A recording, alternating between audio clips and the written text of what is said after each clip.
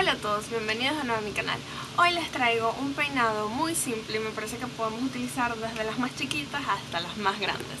Y es la trenza de espiga que he aprendido a hacerla y de verdad que me encanta. Es muy fácil y nos sirve perfecta para cuando tengamos eh, cualquier tipo de ocasión porque por ejemplo en este caso vine y le puse un broche que se lo puse con un bobby pin y queda bastante cool para por ejemplo una salida en la noche con nuestras amigas, etc.